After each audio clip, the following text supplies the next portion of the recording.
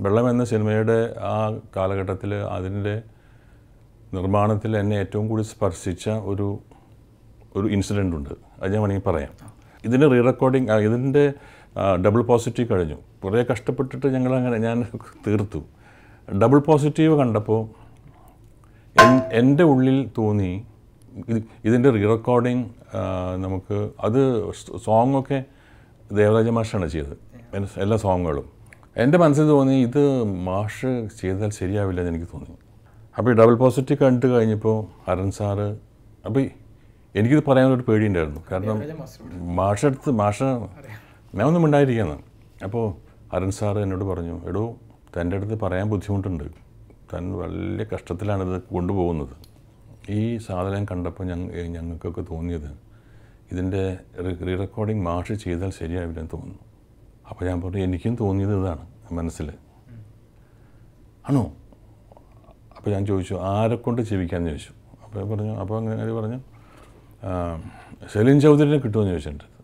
ഞാൻ പറഞ്ഞു കിട്ടാത്തത് എന്താ? കിട്ടും. അടുത്ത ദിവസം ഫ്ലൈറ്റിൽ നേരെ കൽക്കട്ടയ്ക്ക് പോകുന്നു അദ്ദേഹത്തെ മീറ്റ് ചെയ്യുന്നു സംസാരിക്കുന്നു. ട്വന്റി തൗസൻഡ് റുപ്പീസ് അഡ്വാൻസ് കൊടുത്തു എല്ലാം റെഡി തിരിച്ചു വന്നു. തിരിച്ചു വന്നപ്പോൾ എനിക്ക് കിട്ടിയത് ഈ മ്യൂസിക് യൂണിയൻ എന്നൊരു നോട്ടീസാണ് അതായത് മാഷം നിങ്ങൾ മാറ്റാൻ പറ്റില്ല. മാറ്റണമെങ്കിൽ അതിന് അതിനൊരു കോമ്പൻസേഷൻ വേണം എന്ന് പറഞ്ഞിട്ട്. എന്നെ അവർ ചർച്ചയ്ക്ക് വിളിപ്പിച്ചു. ഞാൻ ചെന്നു അപ്പോൾ അവർ പറഞ്ഞു ഇങ്ങനെയാണ് പ്രശ്നം. അതായത് സോങ് ചെയ്ത ആൾക്കാർ തന്നെ റെക്കോർഡിങ് ചെയ്യേണ്ടതാണ്. അത് അലിഖിതമായ ഒരു റൂളാണത്. അങ്ങനെ ട്വന്റി തൗസൻഡ് റുപ്പീസ് അങ്ങനെ കെട്ടിവെച്ചാൽ ഞങ്ങൾ നോ ഒബ്ജക്ഷൻ സർട്ടിഫിക്കറ്റ് തരുള്ളൂ എന്ന് പറഞ്ഞു. അങ്ങനെ ഞാൻ നേരെ മാഷിന്റെ വീട്ടിൽ പോയിരുന്നു. മാഷിന്റെ വീട്ടിൽ പോയിട്ട് ഞാൻ പറഞ്ഞു ഇങ്ങനെ പറഞ്ഞു. ആ എന്താണ്? ഞാൻ പറഞ്ഞു ഇങ്ങനെ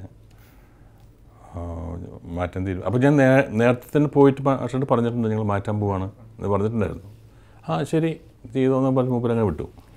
ഇത് ഈ ട്വന്റി തൗസൻഡ് റുപ്പീസും കൊണ്ട് ഞാൻ ആദ്യത്തിന്റെ വീട്ടിൽ പോയി വീട്ടിൽ ചെന്നപ്പോൾ അവിടെ വേ- വേറൊരു കമ്പോസിങ് നടന്നുകൊണ്ടിരിക്കും ആ സമയത്ത് എന്നെ കണ്ടപ്പോൾ അവിടെ നടന്നു വന്നു. നടന്നു വന്നിട്ട് എന്തേ? എന്ന് ചോദിച്ചു. ഞാൻ പറഞ്ഞു അങ്ങനെ ട്വന്റി തൗസൻഡ് വെച്ച് കൊണ്ടുവന്നിട്ടുണ്ട്. അപ്പോൾ ഞാൻ കവറിലിട്ടതാണ്.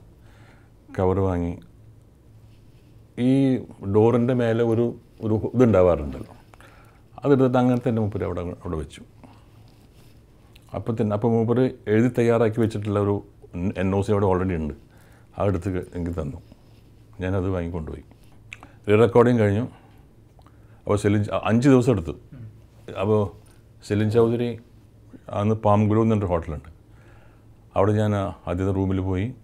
ആകെ ഫോർട്ടി തൗസൻഡ് റുപ്പീസാണ് സമ്മതിച്ചത് ഈ ട്വന്റി തൗസൻഡ് റുപ്പീസ് അദ്ദേഹത്തിന് ഞാൻ ഒരു കവർ ലെറ്റർ കൊടുത്തു. അപ്പോൾ അത് വാങ്ങി അദ്ദേഹം.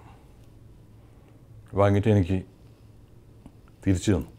ഞാൻ അറിഞ്ഞു ഇങ്ങനെ ഒരു പ്രശ്നം ഉണ്ടായെന്ന് അറിഞ്ഞു. അപ്പോൾ നിങ്ങളവിടെ ഫൈനായിട്ട് ട്വന്റി തൗസൻഡ് റുപ്പീസ് കെട്ടിയെന്ന് കേട്ടു.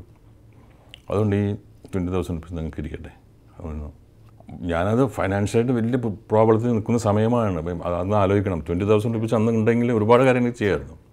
അങ്ങനെ ഞാൻ അദ്ദേഹത്തെ ഫ്ലൈറ്റിൽ കൊണ്ടുപോയിട്ട് തിരിച്ചു വന്ന് ഞങ്ങൾ ഫൈനൽ പ്രിന്റ് റെഡിയായി അരൺ സാറ് പറഞ്ഞു ദേവരാജ മാഷെന്ന് വിളിക്കൂ.